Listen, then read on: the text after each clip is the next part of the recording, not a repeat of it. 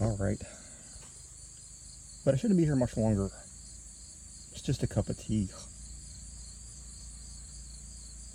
When she said that, the pot started steaming and whistling as she turned to take it off. The heat, turning the stove off. She poured the boiling water over the tea bag and set the cup on the saucer to steep as she sat the pot down on the counter. Now a tray. Went to a rack where a few silver servings were stacked. That will do.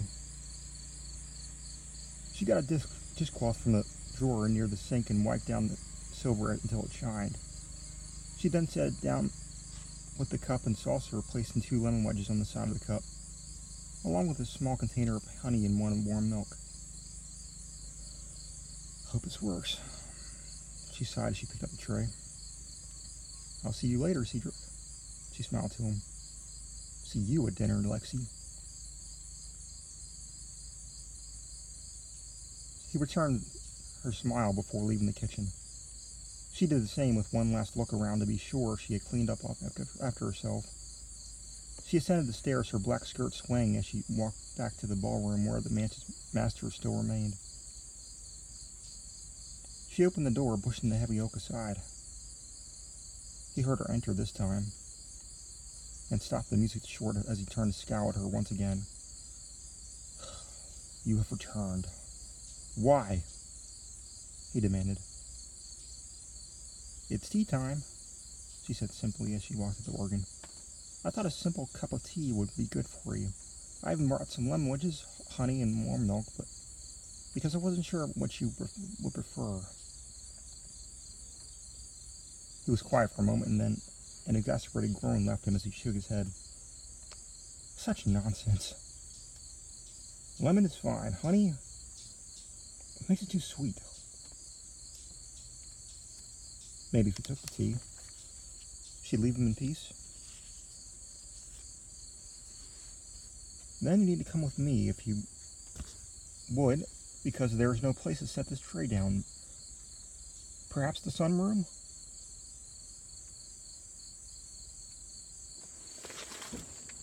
The view in there might inspire you further.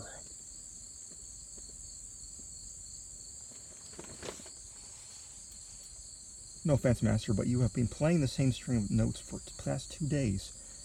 It is rather monotonous. Such big words for a maid. He looked to her dress and then back to her face. Are you educated? Self-taught, sir. She smiled. But that is a story for another time. You need to relax, sir. The tea will help. Very well. He rose from his place in front of the organ. Hmm. What day is it? Sir? What day is it, girl? Saturday, sir. Oh. So it really has been three days. He looked at the grandfather clock at the back of the massive room. That thing must need winding. It's not ticking, so I lost track of time. Again. That is unhealthy, sir, she frowned. You shouldn't spend so much time in one room. Please come with me. She turned to walk back to the door. Wait, you said the sunroom. She faced him. Yes, sir. That room has a broken window. There could be still be glass on the floor. I, I don't want to. I don't want you getting hurt. So let's just go to the balcony. It's much closer, and the view is almost the same. As you wish, sir. Lead the way. Had it worked? Had he volunteered to leave? He had volunteered to leave the room. He descended the few stairs that led up the old organ and went to a glass door, opening in it and walking out on the stone balcony, holding the door open for her. Well, you insisted. Now, come on.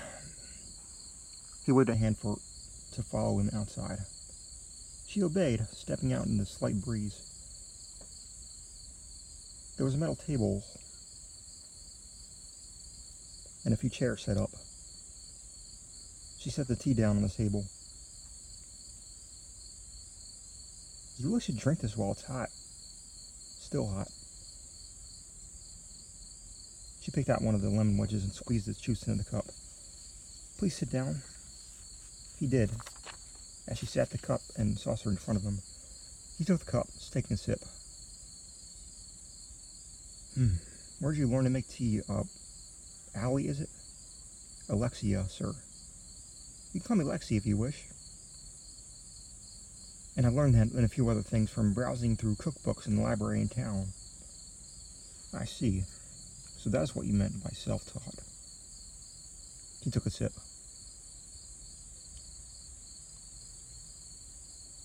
Sit down. I want to talk to you. You seem to be new here. She sat across from him, wondering if she had done something wrong. Lexi, a smile came to his face.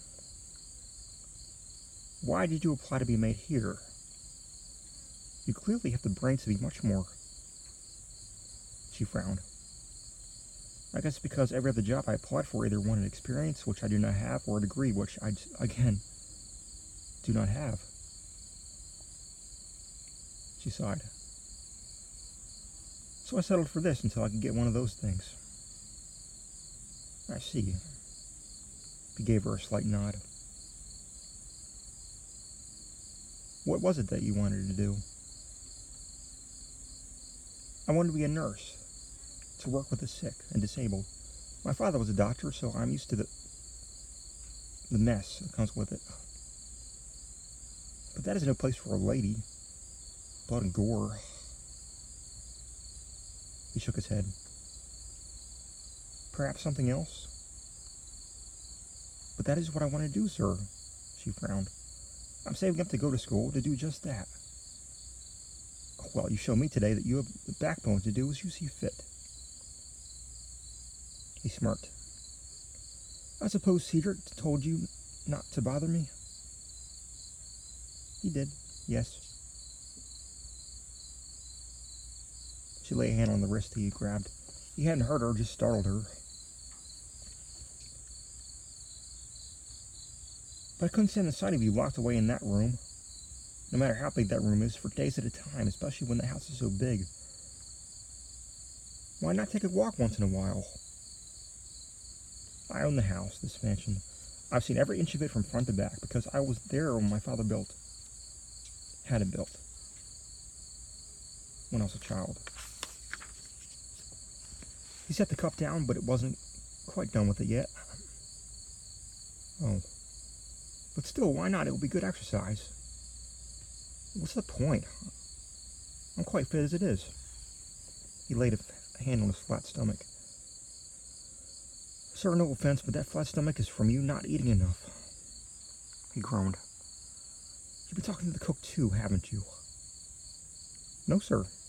Haven't met yet. Have yet to meet, actually. Well, then, you might have to go introduce yourself. If you make tea this like this every day, I might make you a kitchen maid rather than the one who does the dusting. Whatever you wish, sir. Two fell silent as she looked out at the mansion's overgrown gardens. The gardeners had been slacking after the recent rain.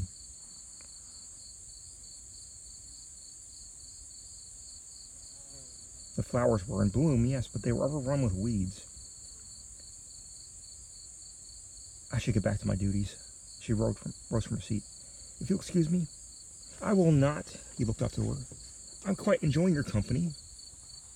Please sit down. She took back her seat. Yes, sir. You said you wanted to be a nurse. What brought this on? He was now curious about the young woman who was in front of him, but was that curiosity enough to keep him from that cursed organ long enough to get a meal and some rest? I'm not sure exactly. I guess it's because that's what my father did, and I really admired him when I was a child. I see. What about your mother? What does she think of her little girl going to a man's profession? She frowned, looking to the table in front of her. Sir, my mother died during childbirth. I I never met her. He suddenly felt guilty for asking that. Oh, I'm sorry, I didn't know. It's alright, but my father raised me alone and worked that job so I would want for nothing. To be able to go do that to me was beyond amazing. If he could bring health back to so many people and then come home and then help his fi- then five year old daughter make dinner, then he was a great man. Indeed. He sounds like an upright gentleman. He smiled. Where is he now? St. Luke's Hospital, probably working the day shift. So he's still alive? He raised an eyebrow. Yes, quite, she nodded. We don't live together, but because I thought it was time I set out on my own. Then I got this temporary job as a maid in this house, and I hope this would last at least until I get my medical degree. He chuckled. Actually chuckled for the first time in months. You're a brave girl. And a smart one, too. You're sure to succeed in whatever you choose. He finished his tea and sighed. I suppose you're not going to let me return to my work. She shook her head. No, sir, I must insist that you rest first. You'll be refreshed and you can start from where you left off in the morning. All right, fine. I seem to be stuck on the same few notes anyway.